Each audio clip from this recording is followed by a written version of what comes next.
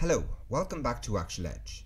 Groundbreaking revelations in gene editing with CRISPR could reshape the landscape of HIV treatment, but not without significant concerns uncovered by Dutch researchers.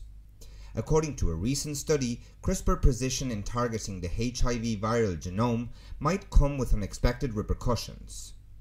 While this gene editing marvel zeroes in on the HIV virus, the cutting action could inadvertently trigger changes in nearby genetic sequences, potentially activating cancer related genes.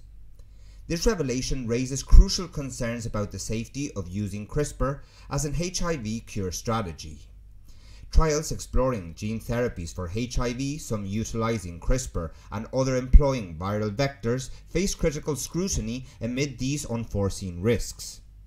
However, this doesn't negate the immense potential of gene editing, but it emphasizes the urgent need for extensive research to balance its promise against potential dangers, especially concerning unintended genetic changes linked to the disease like cancer.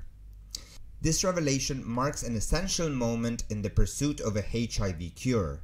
Stay tuned to continued coverage as scientists navigate the complex terrain of gene editing's promise and peril. And don't forget that if you have any questions for us regarding the cure of HIV, we'll be live every Saturday on YouTube. Please check out our latest live stream to check if your question was already answered.